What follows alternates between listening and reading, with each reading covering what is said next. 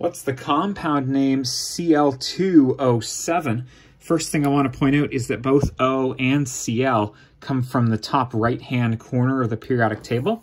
That means they're both non-metals, and this makes a molecular, some teachers call it covalent compound.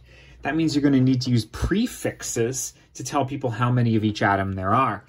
Two chlorines means you use the prefix di for two, and then you put the element name of the first element that's listed. Here it's chlorine, as is. Seven has a prefix of hepta, and then the second element needs to have its ending converted to ide. So oxygen becomes oxide, like carbon dioxide, which you've heard of. There you go. Two chlorines, seven oxygens is dichlorine heptaoxide. Some teachers will tell you to abbreviate that to just heptoxide. I believe the IUPAC naming allows for both. I prefer the first one, but hey, I'm not the one giving you the marks. So do whatever your teacher tells you to. You know what I mean? Hey, thanks for being with me, and best of luck.